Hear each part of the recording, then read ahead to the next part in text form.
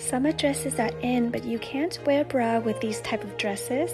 So I want to show you guys one of my favorite solutions from Spidertech is these beauty tapes.